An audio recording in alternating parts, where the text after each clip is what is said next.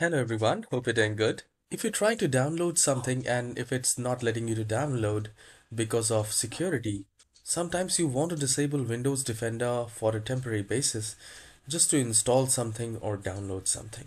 It's really a straightforward process, so let's go ahead and learn how to enable or disable Windows Defender, Windows Security on Windows 11.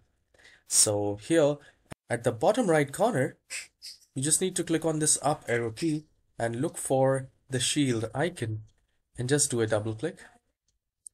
You will have virus and threat protection, account protection, firewall, and network protection.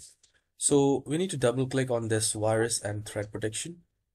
And here we have the scan option, protection history, and many more.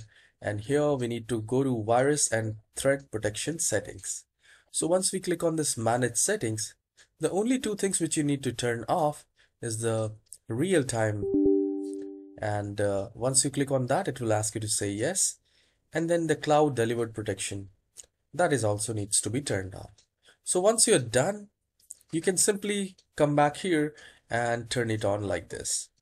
So this is how you can enable or disable virus and threat protection settings of Windows Security Windows Defender on Windows 11 I hope this very short tutorial has helped you. Please hit the like and subscribe. And guys, if you have performance issues, slow boot, slow startup, overall the performance of browser is not good, then watch the playlist at the end of this video and you will solve it.